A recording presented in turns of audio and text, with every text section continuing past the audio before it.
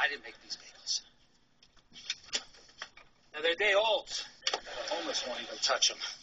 Oh, we try to fool them by putting a few fresh ones on top, but they dig. They.